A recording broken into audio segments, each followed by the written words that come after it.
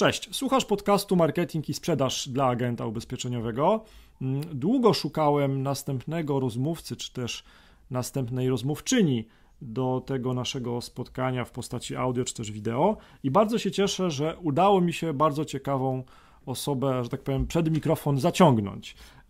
Dzisiaj pochylimy się tematem, pochylimy się nad tematem, jak pracuje skuteczny agent ubezpieczeniowy. No bo w tych moich rozmowach podczas szkoleń czy też podczas konferencji często pojawiają się dwa tematy, główne dwa problemy w pracy agenta ubezpieczeniowego: za mała sprzedaż i za mało czasu na cokolwiek. Dlatego też dzisiaj o tym, jak pracuje skuteczny agent ubezpieczeniowy, porozmawiam e, z moją rozmówczynią. Moim i Twoim gościem jest Marta Gendera z superubezpieczenia.pl. Cześć Marta. Cześć, witam hej, serdecznie. Hej. Dziękuję, że znalazłaś czas dla mnie i dla naszych słuchaczy. Super, dziękujemy. Hmm. Witam. E, tak, e, trzeba Cię trochę przedstawić. E, poprawiaj mnie, jeżeli e, coś przekręcam, ale myślę, że te informacje, którymi się teraz podzielimy, są ważne dla słuchaczy, ponieważ dadzą też kontekst i słuchacze też zrozumieją, czemu w ogóle rozmawiamy na ten temat, na który rozmawiamy.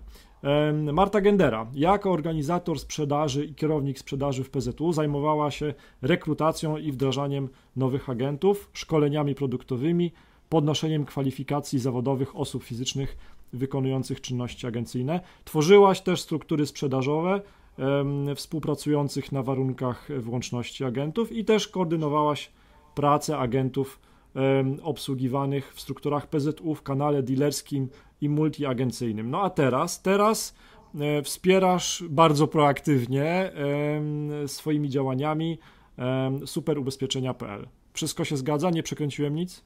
Wszystko się zgadza. Okej, okay, to dobrze, to dobrze.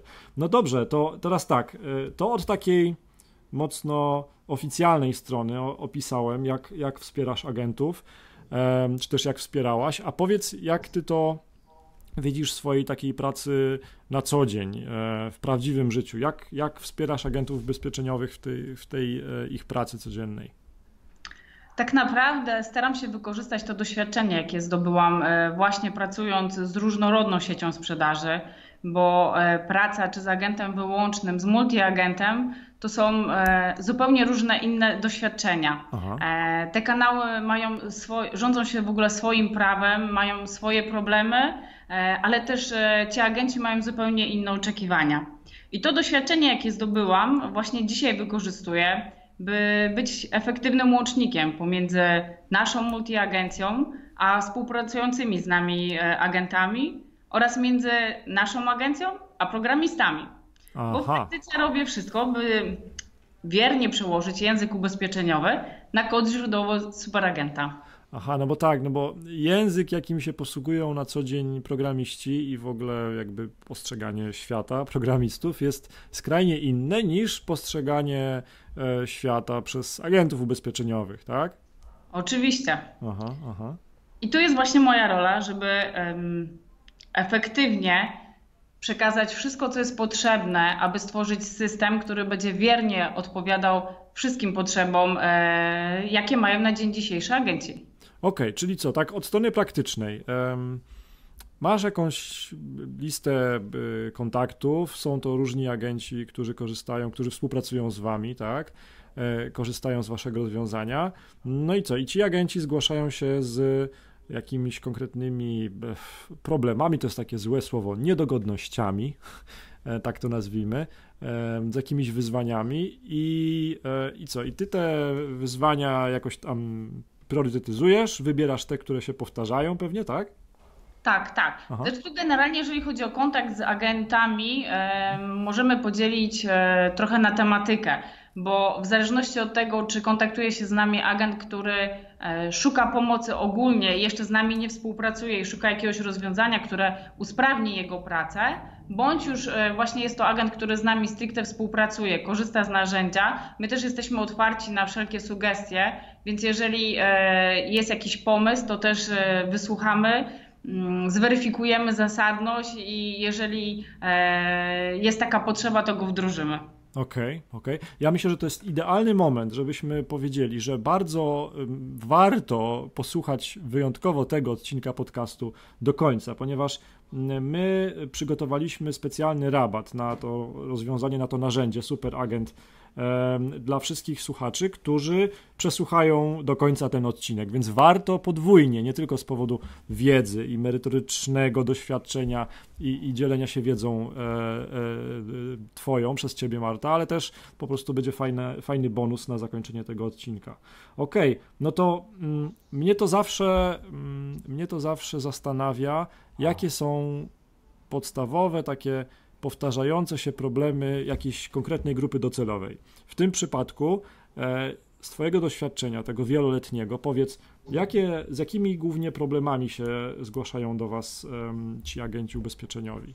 Czy to można jakoś podzielić, jakoś e, usystematyzować? Coś się na pewno powtarza jakieś wyzwania. Z pewnością, z pewnością. Generalnie to jest tak, że każdy telefon, każdy kontakt e, to zupełnie inna historia. No tak. To, z czym zgłaszają się do nas agenci, przede wszystkim zależy od tego, e, jaką oni mają specyfikę swojej pracy, jakie jest jego, ich otoczenie, jaka jest konkurencja. Niejednokrotnie to konkurencja wymaga mm, pewne kroki po stronie agenta.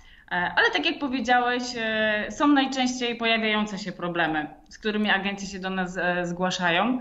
I number one to z pewnością jest właśnie brak czasu na kompleksową obsługę klienta. Agent zdaje sobie sprawę, że kompleksowa obsługa, czyli mm, nie tylko już mówimy o tym, żeby dać jak najszerszy zakres, ale jeszcze do sprzedaż pewnych produktów, rozmowa z klientem, to jest klucz do sukcesu. Ale niestety to, w jaki sposób dzisiaj współpracujemy e, jako agenci, mm, powoduje, że mamy bardzo mało czasu na samą obsługę klienta. Ta, te czynności, które są około sprzedażowe, czyli wyliczenie nawet oferty we wszystkich towarzystwach, które są w ofercie multiagenta, tak. czyli jest to niejednokrotnie około 20 towarzystw. Policzenie oferty w tych 20 towarzystwach, sami wiemy, ile zajmuje czasu. Mhm. Do tego dochodzi presja ze strony klienta.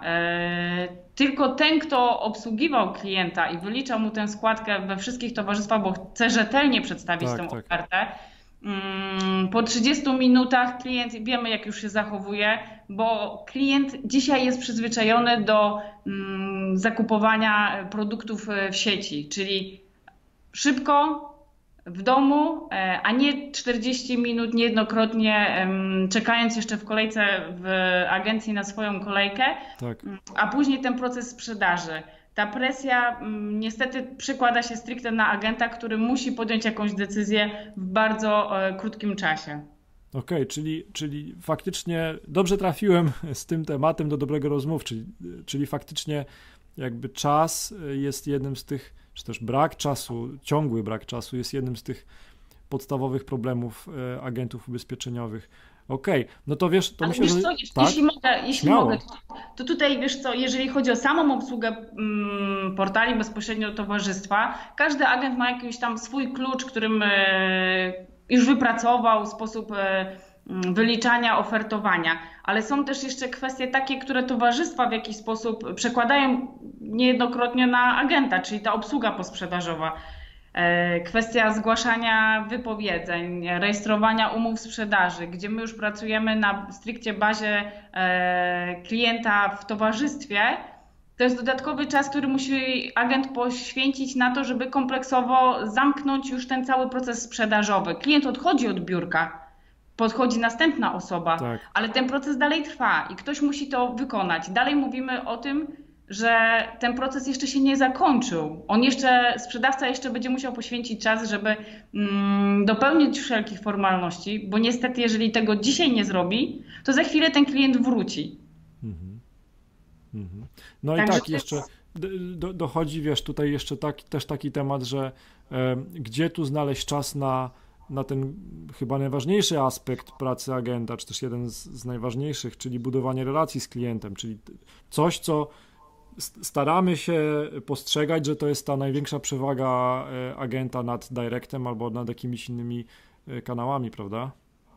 No na dzień dzisiejszy klient e, szuka oferty w internecie mhm. i to jest no oczywiste. Tak. Bo nawet e, nie codziennie pewnie mamy klientów, którzy przychodzą mówiąc, że znaleźli ofertę za taką i taką e, składkę i oczekują takiej wysokości e, właśnie swojej wybranej oferty. To, to jest potwierdzenie, że ten klient szuka, ale przychodzi stricte do agenta, bo właśnie to jest ta największa wartość, e, że my kupujemy, e, kupujemy u agenta i oczekujemy, że ten agent nam doradzi e, i będzie naszym ekspertem. Tak, bo oczekujemy nie, człowieka, nie? Po drugiej stronie zwykle. Tak, tak. Oprócz tego, że to jest człowiek, ale on ma doświadczenie, on odpowie na nasze pytania, bo w internecie bardzo y, można szybko wyszukać jakąś wstępną ofertę. To też jest problem. To jest wstępna najczęściej tak. oferta. A stricte agent y, to jest jego rola, żeby porozmawiać z klientem, sprawdzić, jakie tak naprawdę są jego potrzeby, bo każdy się w jakiś sposób y, kieruje ceną tak? No bo e, najłatwiej to wymierzyć tak. e, w, w złotych, ale zawsze za ceną idzie jakość, idzie zakres. Kupić polisę, ok, ale co będzie w momencie, kiedy dojdzie do szkody? Ważne jest, żeby wybrać taki zakres, który będzie odpowiadał moim konkretnym potrzebom. I właśnie rola agenta jest taka, żeby mieć jak najwięcej czasu już na e, dookreślenie ostatniego kształtu tej e, polisy, żeby ona odpowiadała rzeczywistym potrzebom e, klienta, a nie to, że dzisiaj jest na coś promocja albo ja uważam, że to jest słuszne. Nie decydujmy za klienta, dajmy mu możliwość. My potrzebujemy narzędzia, które nam pozwoli w szybki sposób osiągnąć mm, podstawowe wyniki, żebyśmy my jako agenci mogli właśnie być tym doradcą, tym ekspertem, który pomoże podjąć decyzję. Okej, okay. no wiesz, Marta, to jest wszystko piękne, to o czym my rozmawiamy. To jest wszystko, wiesz, takie właściwe i od strony teoretycznej, ale pewnie jest przynajmniej kilku agentów, którzy nas w tej chwili słuchają i sobie tak myślą, co oni tam gadają, jak ja naprawdę mógłbym sprytnie i skutecznie pracować jako agent, żeby lepiej obsłużyć klienta, szybciej obsłużyć klienta i żeby dla mnie ta, ta praca nie była taka uciążliwa. Na pewno wielu tak się zastanawia. I co my możemy im powiedzieć? Z pewnością. E, oczywiste jest, że dzisiaj o ten czas walczy zarówno klient, jak i agent. To, w jaki sposób my dzisiaj pracujemy i czy ta nasza praca jest e, skuteczna, to można i w jaki sposób w ogóle e, sprawdzić, czy ta nasza praca jest skuteczna, bo to są dwie, e, dwa różne tematy. To przede wszystkim pierwsza kwestia, czyli określenie tego, jaki jest mój cel jako agenta, co ja chciałbym osiągnąć i w jaki sposób chcę to sprawdzić. W większości agencji głównym celem jest to, żeby więcej sprzedawać, czyli wzrost e, składki przypisanej. Co za okay. tym idzie wzrost e, prowizji. Niejednokrotnie agent mówi, ja się wcale nie kieruję mm, wzrostem sprzedaży, ja chcę mieć wzrost e, najszerszej oferty. Chcę, aby były to najkorzystniejsze warunki. Jakikolwiek wybierzemy model czy cel e, agenta, warto przyjrzeć się poszczególnym etapom procesu sprzedaży i sprawdzić, na którym etapie możemy coś jeszcze poprawić. Czyli patrząc na standardowy proces obsługi klienta, od wyszukania tego klienta, poprzez kontakt z nim, analizę jego potrzeb, przedstawienie oferty czy finalizację, zarządzanie już na końcu tymi e, relacjami z klientem, warto przyjrzeć się poszczególnym e, etapom i zobaczyć, gdzie dzisiaj jestem, jaki mam problem i co mogę zmienić, żeby usprawnić ten etap. I oczywiste jest, że najważniejsze w sprzedaży jest interakcja z klientem. To, co powiedziałeś. Czasami to jest te kilka minut, kiedy klient podejmuje decyzję, czy akceptuje naszą propozycję. Tak. Wszystkie pozostałe czynności, jakie są podejmowane, one pracują właśnie na powodzenie tych kilku minut. I oczywiście ja też się spotykam z tym, że agenci po kilku latach twierdzą, że oni mają swój jeden, jedyny sposób e, rozmowy z klientem, mm, sposób. E, Wypracowany już, tak? Tak, i on jest idealny, najlepszy. Okej. Okay. Jasne jest dla mnie i zgadzam się z tym, że kompetencja agenta, czyli ta jego wiedza o rynku, o produktach, e, jego umiejętności, znajomości technik sprzedaży, komunikacji, to jest klucz do sukcesu ale tak naprawdę jego postawa, czyli to, na ile agent jest gotowy do zmiany, ma największy wpływ na jego efektywność. Bo to, że rynek się zmienia, to jest oczywiste. No Dzisiaj dobrze. największym wyzwaniem jest moda na bycie zabieganym. Ja mam wrażenie, ha. że wszyscy są zabiegani. I agent, i klient. E, jak ktoś nie jest zabiegany, to wręcz jest to dziwna sytuacja. Ogólne warunki się zmieniają w tempie ekspresowym E, wytyczne zaraz za ogólnymi warunkami, wiadomo. Jeżeli agent e, współpracuje z kilkoma towarzystwami, to jeżeli pomnożymy to razy właśnie tą liczbę towarzystw w obsłudze agenta, to dopiero można zrozumieć, jakiego zaangażowania wymaga praca sprzedawcy. Ile codziennie przetwarzanych jest informacji po to, żeby właśnie zapewnić klientowi najwyższy poziom obsługi. Bo przecież powiedzieliśmy sobie, że to jest najważniejsze być kompetentnym sprzedawcą. Tak. I to, jest, to zostawiamy w rękach agenta. Jeżeli ma swoje wypracowane techniki, ok. Ale to, czego mm, dzisiaj potrzebuje agent, to narzędzia, dzięki któremu uprości i zautomatyzuje cały proces sprzedaży. Począwszy od szybkiego dostępu do tych swoich ofert, e, budowania bazy, raportowania sprzedaży, aż po obsługę wznowień. Bo tak naprawdę dobry proces sprzedaży to jest prosty proces sprzedaży.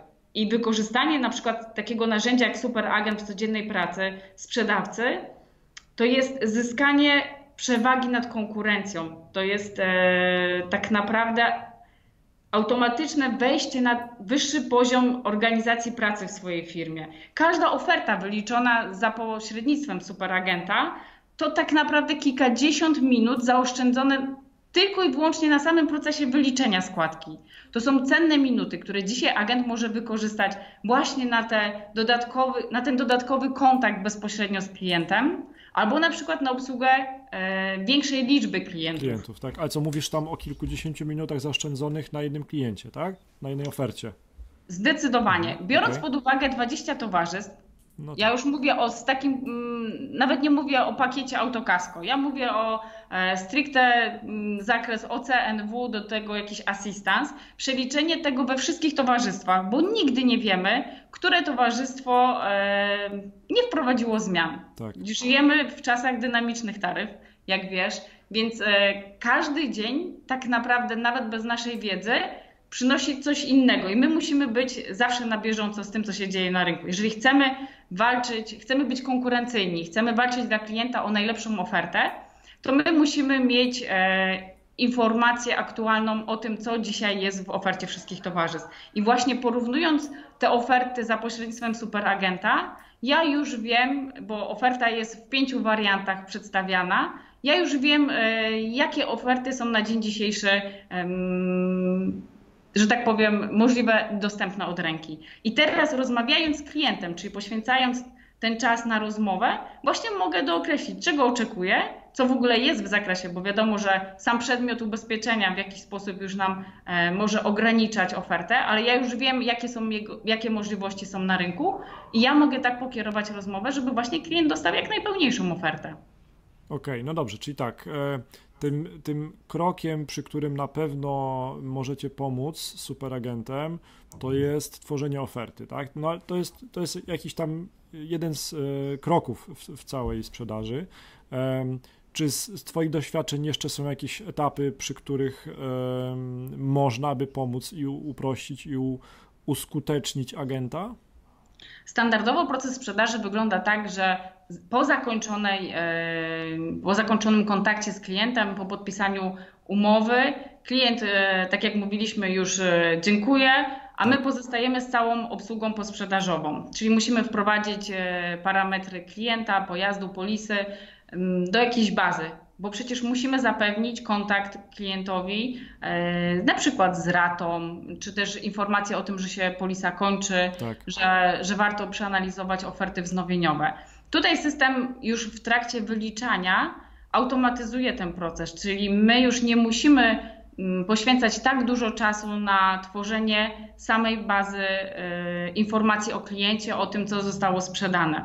To jest cenny czas jest e, przede wszystkim baza dostępna cały czas, więc to, co zaoszczędziłam w trakcie obsługi klienta, to jest jedna rzecz, ale druga rzecz, ta baza jest dostępna online, więc niezależnie od tego, czy jestem w biurze, czy muszę coś zweryfikować już po pracy z domu, tak, niejednokrotnie wiemy, że agent pracuje nie powiem 24 godziny, ale jest dostępny na tyle, ile może, tak? Bo klient mu zaufał i klient e, potrzebuje dzisiaj pomocy.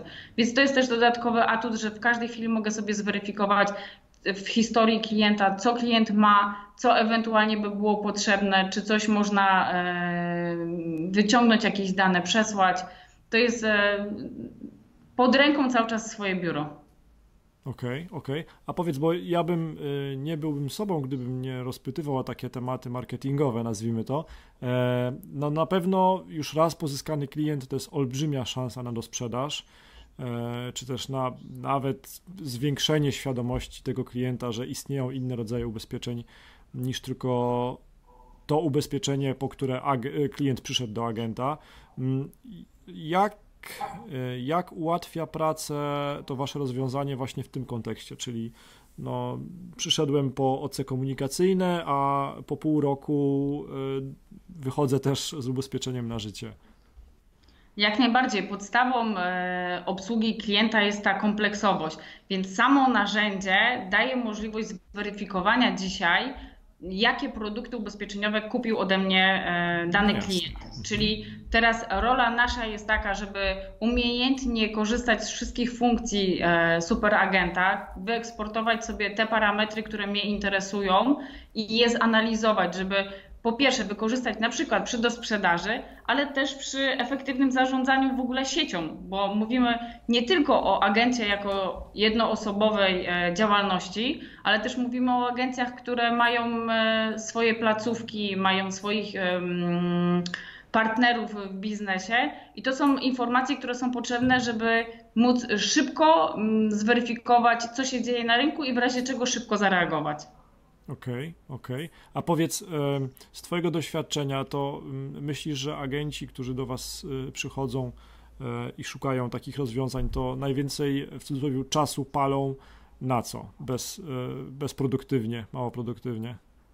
Najwięcej czasu idzie na wyliczenie oferty. Mhm. Niejednokrotnie to jest tak, że agenci sami nam to też mówią. E, są dwa modele. Albo wyliczą tylko i wyłącznie ofertę wznowieniową plus dwa towarzystwa, trzy, które wiedzą, że na dzień dzisiejszy mają dla danego pojazdu na przykład atrakcyjną ofertę. Okay. A wiadomo, że to nie o to chodzi, tak? tak? A są agenci, którzy rzetelnie chcą i to robią i poświęcają ten czas i oni chcą, żeby ich klienci byli e, kompleksowo obsłużeni w zakresie takim, że to, co jest możliwe i dostępne, oni chcą to wytłumaczyć i policzyć. A niestety to jest czas.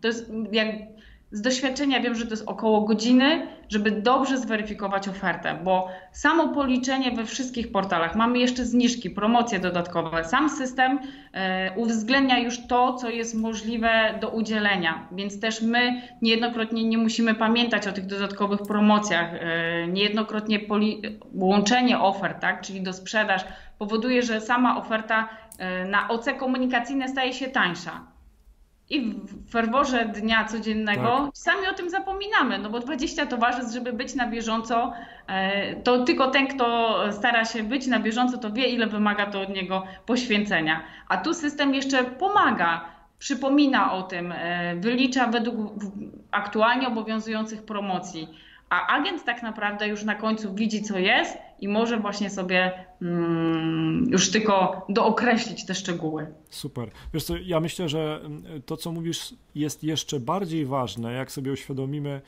że i tutaj nawiążę bezlitośnie do Directu, który też czasami bywa bezlitosny, no tam, tam ten Kowalski, ten klient końcowy, jak wypełnia formularz lidowy, bo chce jakąś ofertę, no to wypełnia pewnie wiele formularzy, tak, do różnych y, towarzystw i e, no, tam on oczekuje pewnie kontaktu w ciągu 5 minut, jakiegoś pierwszego po, po tym wypełnieniu e, lida.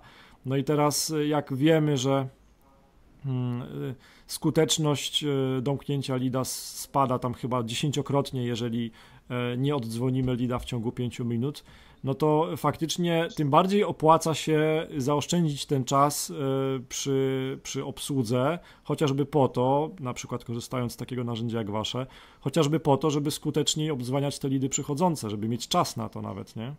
Oczywiście, ale też nawet obsługując takiego lida, no jeżeli klient oczekuje, że do niego odzwonimy, to jest jedna rzecz, ale druga rzecz, odzwonimy i powiemy, jaka jest e, oferta. No to tak? już byłoby idealnie. To już było on idealnie. tak naprawdę oczekuje niejednokrotnie e, klient, który dzwoni do nas, on oczekuje, że podczas tej rozmowy my już mu powiemy, co jest, e, jaka jest najciekawsza oferta.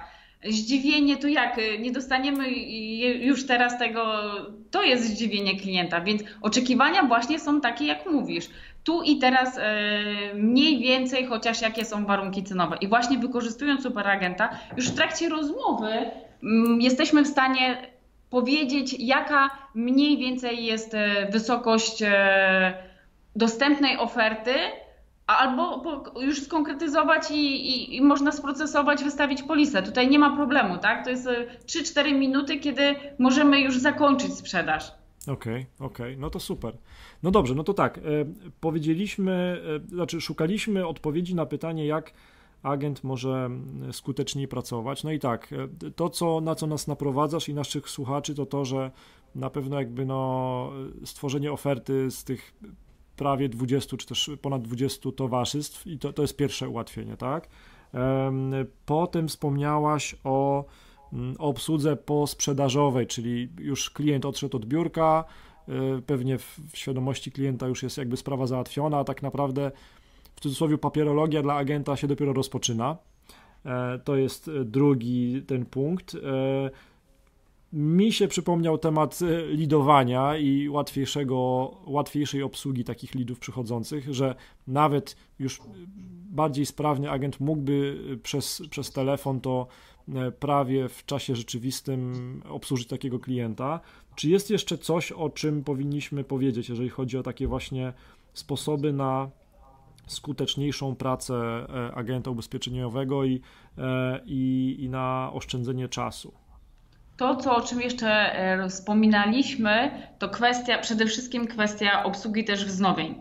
Teoretycznie wznowienie jest traktowane jak e, nowy kontakt, tak? bo trzeba wykonać tę samą pracę, policzyć to we wszystkich towarzystwach. Mając już dane w superagencie, to jest tylko znowu dwie minuty, trzy, kiedy mamy e, po jednym kliknięciu oferty wszystkich towarzystw. Okay. Więc sama obsługa, czyli wygenerowanie listy wznowień, wysyłka do tych klientów maili bądź e, wiadomości SMS i później przeliczenie tego, to jest tak naprawdę kilka minut, a niejednokrotnie po właśnie uruchomieniu procesu wznowienia, czyli wysyłki SMS-ów, wszyscy wiemy jak w agencji to wygląda i wtedy jest telefon za telefonem, tak? Bo mhm. przypomnienie klientowi powoduje, że ok, no to od razu zadzwonię, dowiem się jaka jest oferta wznowieniowa. I to jest ta sama sytuacja no to trzeba się cieszyć, nie... że są telefony. Oczywiście że, oczywiście, że się cieszy, ale też oczekiwania klienta. On dzwoni i on chce poznać tę cenę. Jasne.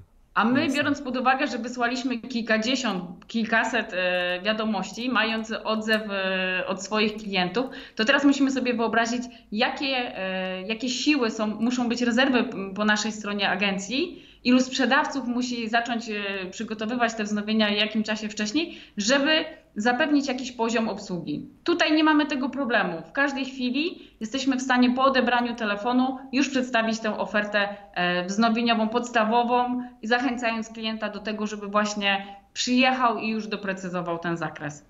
Albo może ten, tą wysyłkę tych SMS-ów e, rozplanować na więcej dni niż jeden i wtedy może oczywiście, by się to nie kumulowało. Nie? Ale to już jest też kwestia pracy z stricte zarządzania swoją e, agencją i właśnie wykorzystania tego, bo można to rozłożyć na e, kilka dni w zależności od tego, jakimi dysponujemy możliwościami. Bo wiadomo, że ktoś później musi obsłużyć te wszystkie telefony i oby ich było jak najwięcej. E, to, to jest, to dochodzimy do ciekawych wniosków i już słyszę, że to będzie bardzo fajny odcinek podcastu, także bardzo się cieszę. Mam nadzieję, że dajemy wartość tutaj fajną naszym słuchaczom. Powiedz, ja wiem z doświadczenia, że bardzo dobrze pomagają zrozumieć jakiś temat historię, opowiadanie historii. I powiedz, czy masz e, z tyłu głowy jakąś taką historię e, agenta, e, któremu pomogliście, którą możesz i chciałabyś się podzielić? Oczywiście bez danych osobowych, RODO nas obowiązuje również i tak dalej. Tak jest z życia wzięte. Mm. W ostatnim czasie nie ukrywam, że bardzo dużo było kontaktów e, ze strony agentów, którzy z uwagi na zmieniające się prawo, czyli tą analizę potrzeb klienta, tak.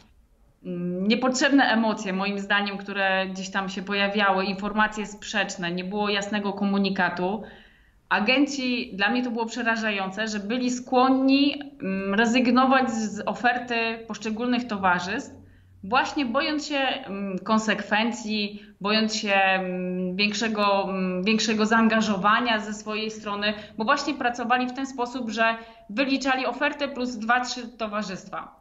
Aha. I biorąc pod uwagę, że multiagent ma w swojej ofercie 20 towarzystw, dzisiaj powinien przedstawić ofertę wszystkich towarzystw. No tak. I, te, I właśnie te informacje, mm, jakie te obowiązki będą dla agenta, powodowały, że trochę się pojawiła panika, tak? To ja wolę zrezygnować i nie mieć tych towarzystw, policzę tylko te cztery i jest ok. No ale nie o to chodzi przecież w, w pracy agenta. Multi-agent to jest właśnie osoba, która ma dać jak najszerszy wachlarz. I rozmawiając z osobami, tłumaczyłam tak naprawdę, że nie muszą rezygnować, mogą stricte wziąć e, system, mogą usprawnić swoją pracę i dzięki temu zachować poziom e, obsługi klienta, i bez problemu przejść przez ten okres e, zmian, bo zmiany zostały wdrożone, emocje opadły. Ten system tak naprawdę pomaga nie tylko w takiej sytuacji, kiedy są trochę takie obawy, czy ja sobie poradzę z systemem e, poszczególnych towarzystw, czy ja mm, dam radę właśnie mm, przedstawić ofertę tych wszystkich towarzystw, bo niejednokrotnie my wiemy, że to nie jest łatwe, tak? tak. E, ale też są sytuacje, kiedy zgłaszają się do nas agenci, e, którzy mają problemy właśnie stricte z obsługą bezpośrednio w portalu, czyli e, jest im, mają swój logotyp firmy, czyli mają swoje ofercie, przychodzi klient nawet ze wznowieniem nie danej agencji, nagle się pojawia problem i, i co ja mam zrobić. My też oprócz tego, że mamy wsparcie y, samym narzędziem, to jeszcze mamy wsparcie bezpośrednio tutaj osobami doświadczonymi, które pomogą przejść w takiej awaryjnej sytuacji. Więc to są kwestie e, życia codziennego. Hmm. Hmm. No tak, i e, pewnie też, e, jak tak jak słyszę, to doradzasz też nie panikować w chwili, gdy wchodzą jakieś nowe przepisy, które regulują naszą pracę, tylko ze zdrowym rozsądkiem podchodzić. Trzeba poczekać, zobaczyć, co, co się wydarzy i jakie tak na. Chociaż patrząc na te zmiany, które się ostatnio wydarzyły, to emocji było bardzo dużo.